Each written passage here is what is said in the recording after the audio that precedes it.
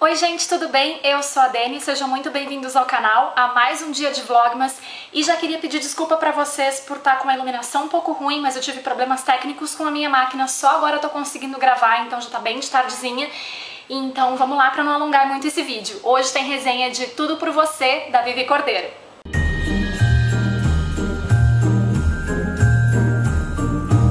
A Tatiane é uma mulher de 23 anos que tem o sonho de ser uma publicitária. Ela trabalha na BW, que é uma agência de publicidade, sob os olhos carrascos da Cláudia, a chefe dela. Essa chefe carrasca faz com que a Tati produza bastante e se estresse muito no trabalho, mas ao mesmo tempo força a Tati a sair dessa zona de conforto e produzir muito, trabalhar bastante e ser uma pessoa muito, muito dedicada e muito bem sucedida. Esse livro também conta a história do Rafael, o Rafa, que é formado em engenharia mecânica, ele tem uma Harley Davidson perfeita, maravilhosa e só aí eu já morri um pouquinho de amores por ele. E ele tem uma loja de motopeças, a Fisher. E ele é um cara muito, muito intenso. O Rafa também é muito mulherengo, mas apesar de ser mulherengo, quando ele coloca os olhos na Tati, a atração é fatal. Então ele vai atrás do que ele quer, que é a Tati. O relacionamento dos dois, da Tati e do Rafa, pega fogo logo no começo do livro, porque a atração que eles sentem um pelo outro é muito forte. E ambos não sabem muito bem como lidar com essa situação, porque nenhum deles já sentiu isso por outra pessoa, então é um sentimento que assusta um pouco, mas também é um sentimento que eles não conseguem fugir. E isso vai dando mais e mais páginas para essa história incrível e a gente vai ficando cada vez mais apaixonado pelo Rafa e mais apaixonado pela Tati. Até que um dia a Tati consegue conciliar as férias da faculdade com as férias da agência, a BW, então ela consegue passar um mês na praia de Ubatuba com os amigos dela e convidam o Rafa. Então vai a Tati, vai as colegas da universidade, vai umas amigas dela, vão os namorados respectivos das meninas e lá eles constroem essa memória e é aí, na praia de Ubatuba, na casa da Tati, que a história dela com o Rafa começa. E a princípio o leitor pode achar que essa história de romance é muito, muito rápida. Só que o foco não está na rapidez com a qual o romance dos dois começa, e sim na construção de memórias que os dois têm.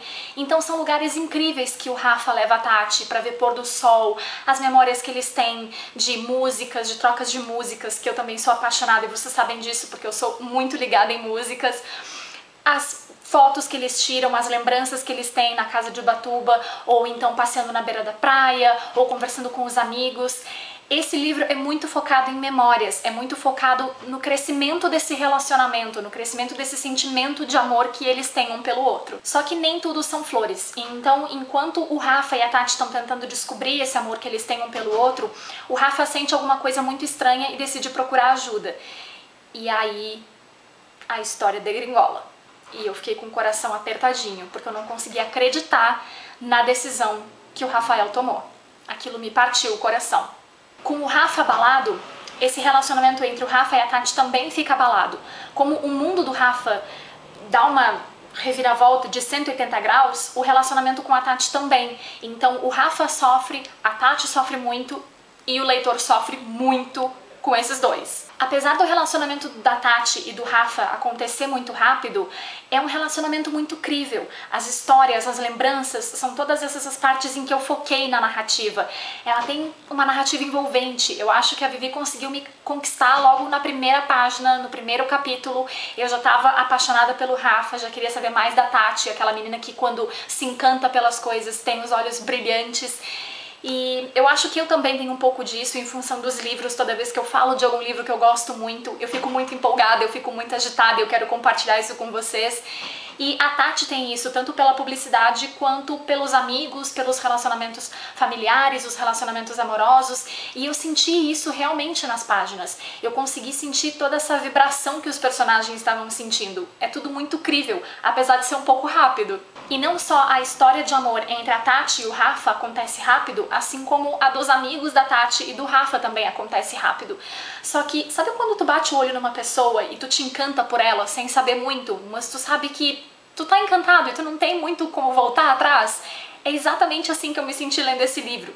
Eu me senti apaixonada por um personagem que eu conhecia pouco, mas eu fui descobrindo ao longo da narrativa. Eu fui desvendando o Rafa e fui desvendando a Tati e os amigos deles a cada capítulo. E eu acho que aí é que tá o ponto principal dessa história. Uma das coisas que me chamou muito a atenção e o que eu mais gostei nesse livro e que eu tô encantada até agora é o fato da autora também ter dado uma voz para os outros personagens. São quatro casais e todos eles têm uma voz, eles têm alguma coisa a dizer, eles têm memórias diferentes para compartilhar, eles estão em momentos de relacionamentos amorosos diferentes, então eles têm uma conexão muito forte. Essa relação de amizade entre os personagens e de broderagem que os meninos têm é muito lindo de ver, porque hoje em dia as relações estão tão superficiais e nesse livro eu não senti nenhuma relação ser superficial.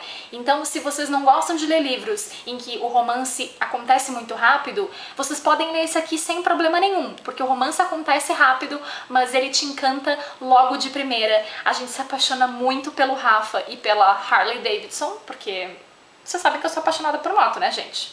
Não posso negar nada. E vocês com certeza vão se apaixonar pela história desses dois, vocês vão se encantar pelos personagens secundários da história, assim como eu me encantei. Eu espero que vocês deem uma chance para Tudo por Você, porque eu acabei de terminar. Eu já vou pegar Tudo por Nós, que é o volume 2. Meu coração tá apertadinho, porque eu não sei o que, que vem aí pela frente, mas eu acho que vai ser uma história tão encantadora quanto Tudo por Você. É isso pro vídeo de hoje, espero muito que vocês tenham gostado e que vocês me desculpem pela iluminação ruim, mas, né, problemas técnicos com essa bendita câmera que não quis ligar mais cedo. E eu espero que vocês voltem aqui no canal pra ver as próximas resenhas e os próximos vídeos. O Vlogmas tá quase acabando, estamos quase no finalzinho, estamos vencendo juntos. Muito obrigada por acompanharem os vídeos até aqui, pelos comentários, pelas curtidas nos vídeos, por se inscreverem no canal e vejo vocês amanhã. Um beijo, tchau!